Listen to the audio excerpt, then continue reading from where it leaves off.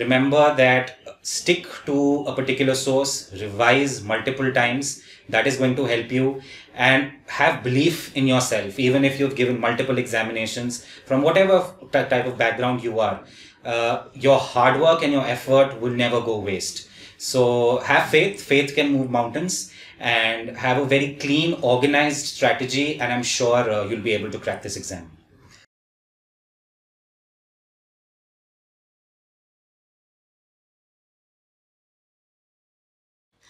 So hi guys and uh, welcome back once again to the series of success stories of NABARD Grade A toppers.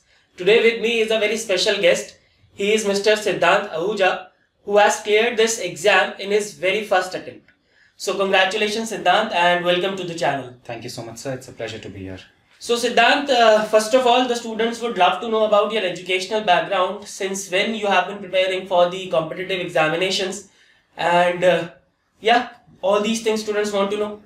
Right, sir. So I completed my graduation in BCom Honors from DU in 2015. Uh, I was working with Ernst & Young as an associate auditor till the end of 2016. Uh, 2017 onwards, I started preparing for UPSC. I've written three attempts, uh, but unfortunately, I could not go beyond the main stage. Uh, so last year, I decided to look elsewhere and the other options that I had at hand. Uh, I did appear for RBI last year in March, uh, but unfortunately I could not clear the sectional cutoff for quant by a single mark, uh, so that's where it ended. Uh, NABARD then came into the picture. Uh, I would like to mention that I was very unsure if I should go ahead and take the NABARD exam because uh, for a non-agri student, ARD seems to be a mental block. But I'm glad that I did not let that stop me and I went ahead and I gave the paper and I'm fortunate enough to be selected to be working for such a prestigious organization. Very good. So I think uh, we can see that there are a lot, there were a lot of hurdles in the path to to this success of uh, Siddhant, but fortunately आज वो यहाँ तक पहुँच चुके हैं and जितने भी hurdles थे उनको cross कर लिया है, right? So now Siddhant, we will move ahead towards the strategy that you have followed for all the three stages of examination, pre-mains and interview.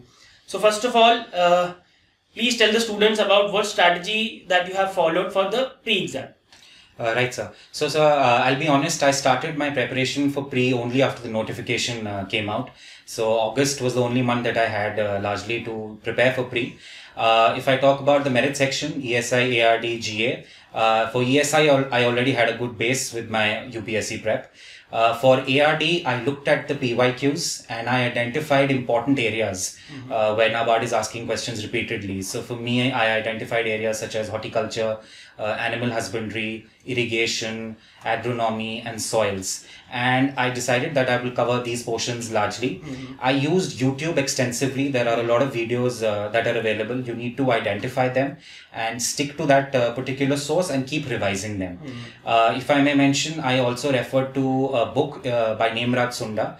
It's a very thick book, so I would not suggest uh, to do it cover by cover. Mm-hmm. But yes, certain important areas you can cover and make possible short notes out of it and keep revising them.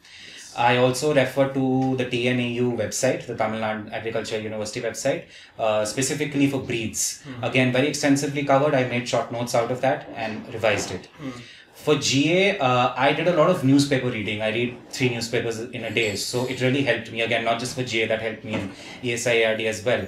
But I coupled that with any good compilation, monthly compilation that you can find specifically for banking exams, mm-hmm. any one that you like. But I would suggest don't go for multiple compilations. Mm-hmm. Stick to one. I covered about six months uh, from the exam date uh, of GA, and I revised them repeatedly. So that was my strategy for the merit section. For uh, the non-merit section, uh, I was very weak in QRE. Again, I saw videos on YouTube. I identified the topics that uh, I had, I was slightly more comfortable with in quant, mm-hmm. Uh, revised them repeatedly, understood what the tips and tricks are, gave mocks, uh, solved all the PYQs that were available online. Uh, so that's what helped me there. English, I was very comfortable with. I solved a few mocks and I was happy with my performance. Mm-hmm. For computers, again, you can pick up any good compilation that you can find online. It's very easy. It's, it's not very complicated. You can revise it, go through it, solve your mocks, and you're good to go. Uh, one area that was a concern to a lot of us was decision making because it was newly introduced. But according to me, it's only 10 marks. You need to get the minimum qualifying marks. I didn't do anything specific for it. It was very common sense questions, and I went ahead and I gave it But now that we know what kind of questions uh, NABARD is asking, I would say it's something similar to the management portion of RBI. So if you're preparing for RBI and you've covered that, you're good to go with the decision making portion as well. Yes. So I think Siddhant, you have you have followed a very beautiful strategy, and three four takeaways from his strategies are like. He, first of all, he was very organized while preparing for the examination. So the very important thing is this: you have to be organized then you have to stick to the sources that you have identified. First of all, you have to identify the sources, what Siddhant did, and stick to those sources. Then mock interview, of course, and since the prelims examination are there are various factual questions in the prelims examination, so revision is the key to success. All right, so you have to continuously revise each and everything. All right.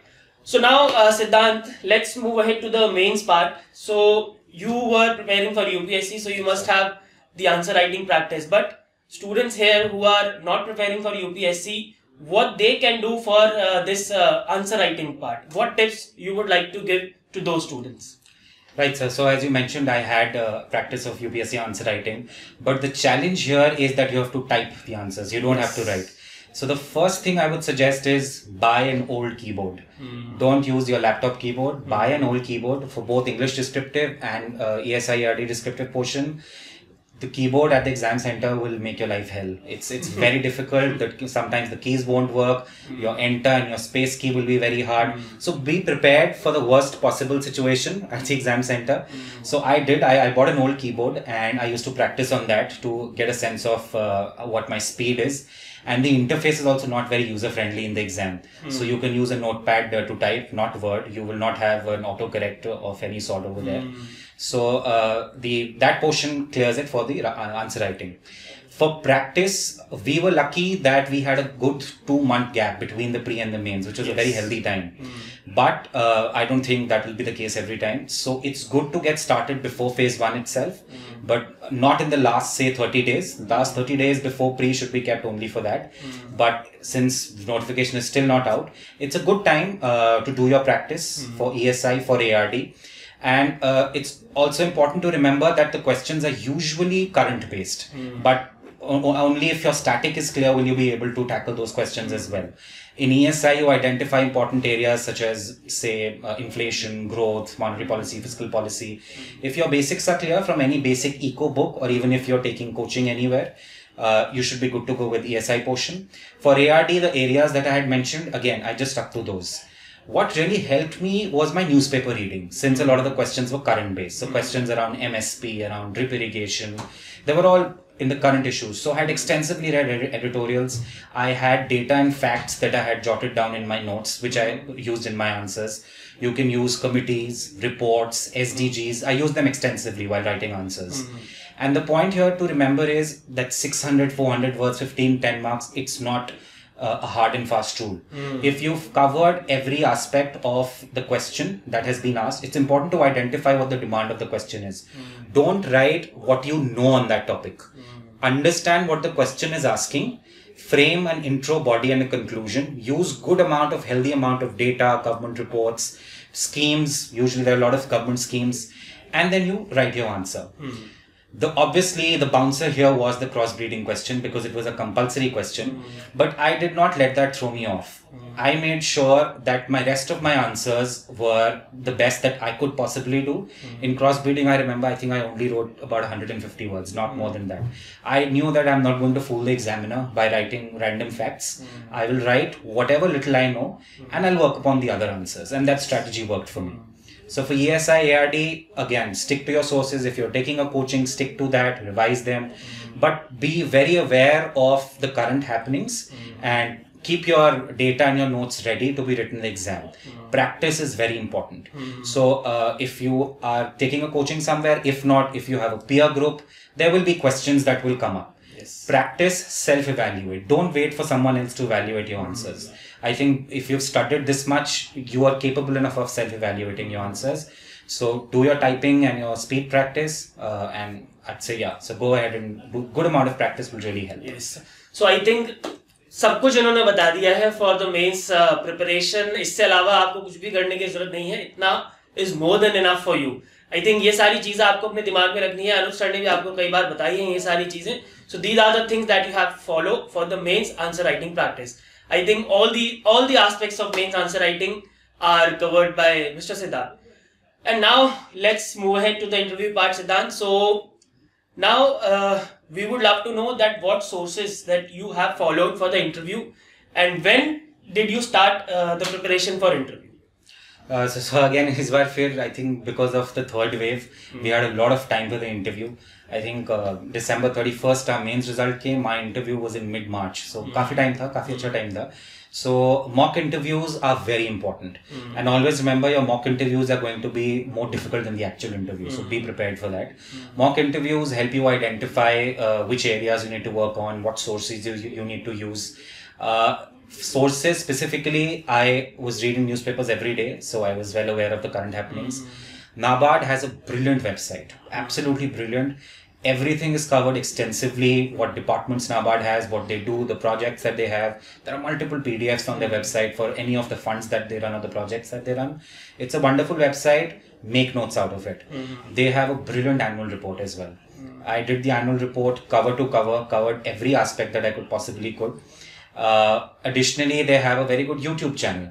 So I think uh, even before you start your preparation, for anybody who's starting their NABARD preparation, go and have a look at the YouTube channel to get a sense of the kind of organization that you will be working for. that's very important, right? It, it, it really motivates you. The work that they're doing, uh, they're very active on their YouTube as well.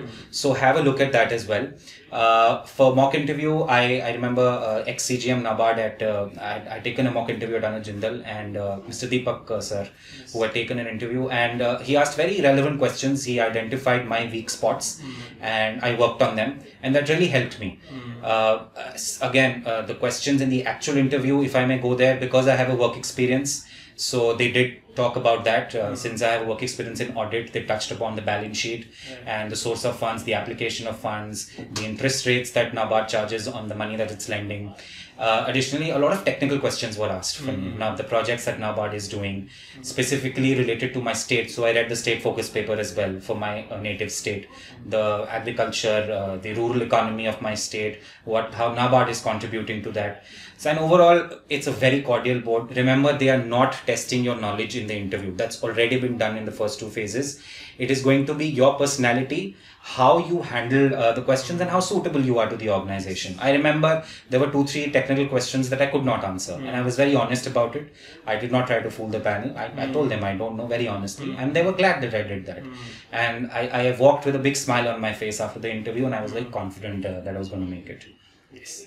So I think uh, beautiful uh, strategy regarding interview as well. So you have to follow three four things. Number one, you have to follow the NABARD website. Then you have to go through the NABARD annual report. Then of course the ongoing international and national events. Okay, and yes, the very important thing that Siddhant mentioned is don't try to fool the panel.